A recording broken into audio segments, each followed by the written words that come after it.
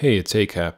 Today you're going to learn how to do advanced routing and organization in Logic and your Vienna Ensemble Pro server project template. If you haven't watched my previous two VE Pro videos, you should do that first because this video builds upon that previous knowledge. I've created a playlist of all my VE Pro tutorials, just like I've done for my Logic tutorials, and you can find that in the description. You should route and name your buses so that your templates are easy to use, not so that they are easy to set up. You'll understand this if you've ever coded anything. Most code is written once and read many times, so good use of comments makes it much easier for anyone who reads it to understand it, whether that be you or someone else. It may take a little extra time, but it's worth it in the long run. Create a new instance, then name and color it. Before you start making your instrument buses, create extra buses for each output you want to be able to use in VE Pro and Logic, and name them the way you'll name your Kontakt outputs.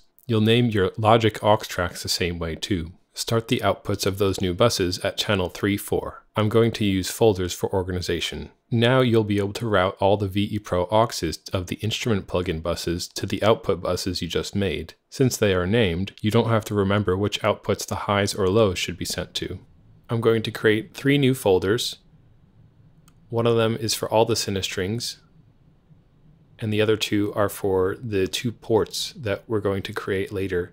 One of them is for the high strings and cellos, and the other one is for double basses. I'm going to color each of them differently.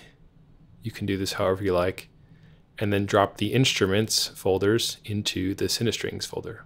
Next, we'll create some instrument buses. I like to leave the first stereo channel set empty, but that's just me. Although you can set up your channels however it makes sense to you, I recommend following this tutorial exactly the first time you go through it. Once you understand it and get everything working on your end, I encourage you to tweak and experiment to see what works best for your needs. Make sure you name and route your Kontakt auxes the same way you did your initial VE Pro buses. Then, the names of the VE Pro auxes can describe more specifically the instruments that are being sent to that aux. You'll see that before renaming, the default aux names are derived from the bus itself. You don't have to split your instrument groups this deep. In my own template, I only have high strings and low strings, for example. I currently don't split up the shorts and longs, although I used to. I'm only doing it this way right now for the sake of example. After you finish this tutorial, you can decide for yourself what level of control you want before you build your own template. Just consider that the more auxes you create here, the more auxes that will be in logic, which means a higher CPU load. Now, you can easily route your auxes to the named output buses you made earlier. My double basses didn't fit in the first port, so I'm going to make a new instrument bus for them.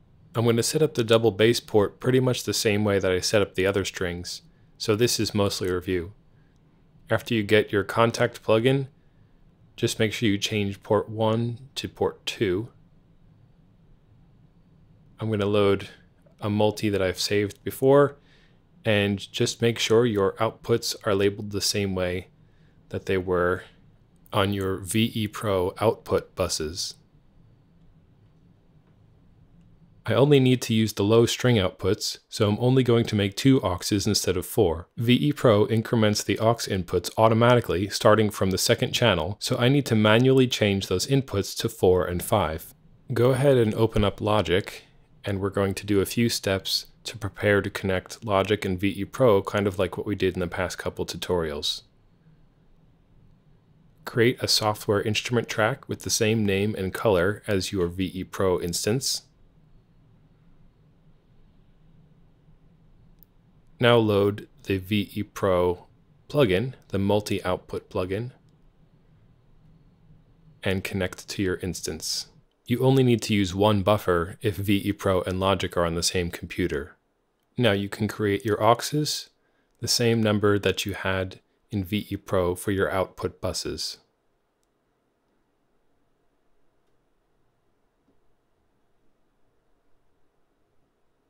Mirror this setup in Logic by leaving the output of the VE Pro plugin track empty and using the auxes for the input of the VE Pro output buses you created earlier, starting at channel 3, 4, and for outputting to your monitor bus. In the same way as before, the name of the VE Pro plugin track can generally describe the instruments it connects to, while the auxes can describe more specifically what is being sent to each bus. I'm not going to go through the whole process of setting up monitor and reverb buses, but I'll show you how you can get started.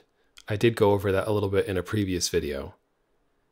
Just be careful that when you're creating sequential outputs, Logic will put the buses out of order, but the aux is in order. So I realized that I was actually labeling bus 2 instead of bus 1 earlier, uh, but I'll fix that later. Let's now create 20 new external MIDI tracks. You're going to have to create 16 and then an additional 4 and open up the environment. Navigate to the MIDI instrument layer and let's rename this multi what our first port is going to be, the high strings and the cellos. Drag it onto the first 16 MIDI tracks and create a new multi for the double basses. I only have four patches, so I'm just going to activate the first four channels. Name it and then do the same, drag it to the bottom four tracks. Let's start with a summing transformer, just a regular transformer, don't change anything, and duplicate that so you can make the first port. Open up the settings for the port. Choose copy matching events and apply operation in reverse order.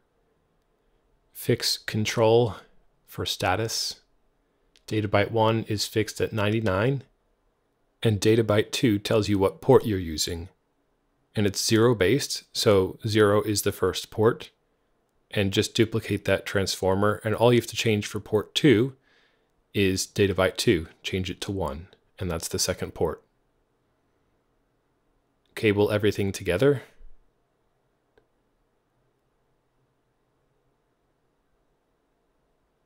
And both ports go to the summing transformer.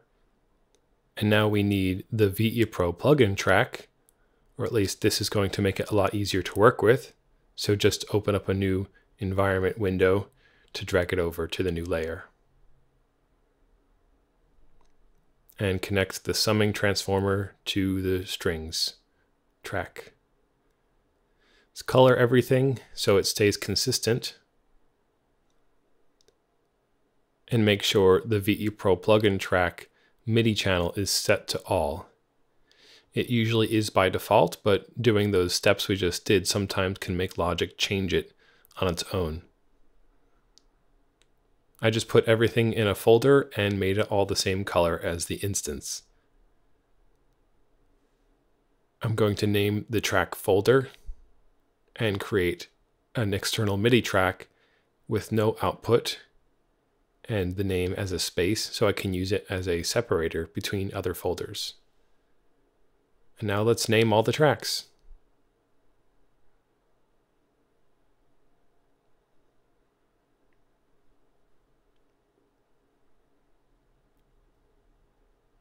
Now create a 16 part multi-timbral instrument track.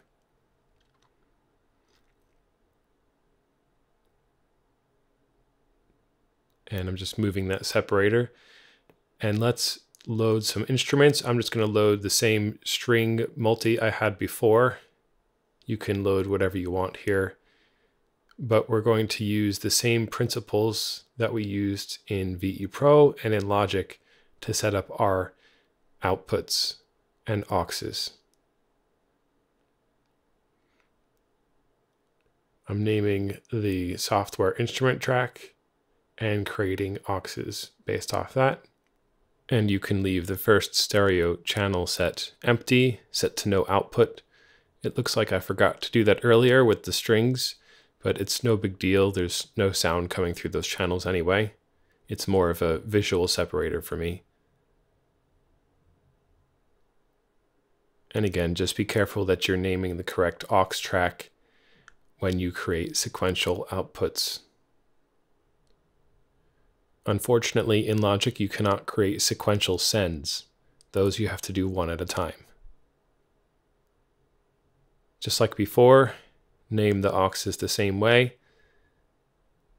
and keep it the same color.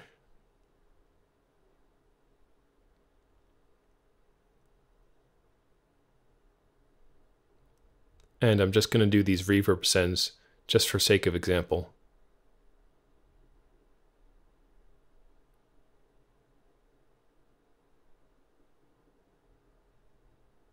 Just like before, I'm making a folder out of all those tracks and again changing the color of the external MIDI tracks and folder. Aside from the basic organizational idea of general and specific track naming, the default name of the last track of a multi-timbral software instrument track is affected by the name of the software instrument track itself. If you like to leave empty tracks available in your template so that you have room to grow, it's nice for those tracks to at least reflect the general instrument groups that would be used in that instrument track. The default name of MIDI tracks connected to an environment multi-instrument is the name of the multi. To get the next sequential external MIDI track, use Control Return, and to get a duplicate that uses the same MIDI channel, use Control Shift Return.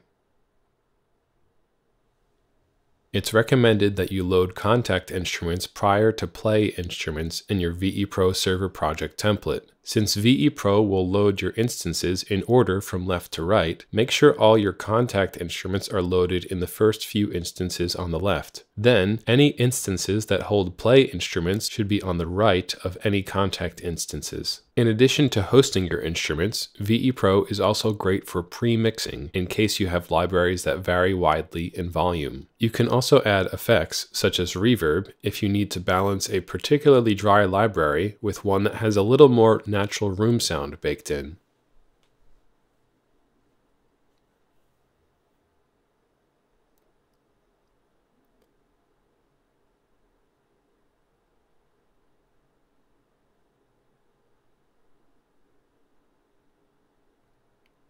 Let's create a new bus in VE Pro and move it outside of all the other folders and add a Kontakt plugin to it.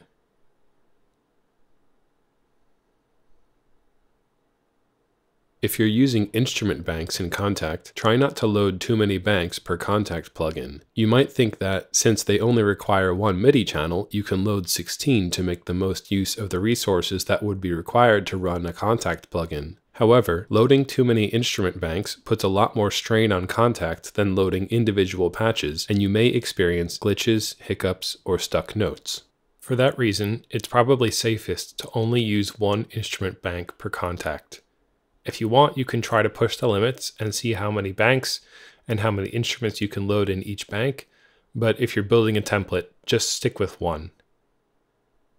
Here's what it would look like in VE Pro if you didn't use good colors, naming, and folders. There are fewer tracks, but you have to think a little to remember what things are and where they are going. This gets more and more difficult the larger your instance and template become. Compare that to the completed version of the well-organized template. Although there are more tracks to look at, it's much easier on the eye, and you'll be able to modify, add, delete, and reroute no matter how long it's been since the last time you updated your template. All of my previous videos now have PDFs to go along with the tutorial tutorial. I've also combined all the Logic PDFs into one giant PDF that you can get all at once, and I've put a link to that in the description as well as on my channel page. I've done the same thing for all the VE Pro PDFs. The PDFs that you'll find in those combined ones will be the same as in the playlist for Logic tutorials and the VE Pro tutorials playlist. Because I've already had a couple requests for it, I've put a one-time donation link in the description of every video. Although it's a PayPal link, you don't actually have to have a PayPal account to use it. I recently released the soundtrack to my first feature film, and I've created a preview video for it on my main channel. I've put those links in the description as well. Just like with Task Attack, if you have any questions about the music of the film, please ask it in the comments on the soundtrack preview video. If you found this video helpful, give it a thumbs up. If you want to see more tutorials, subscribe and hit the bell icon. Check the description for more info, leave a comment if you need clarification, and please share if you think this can be helpful to someone else.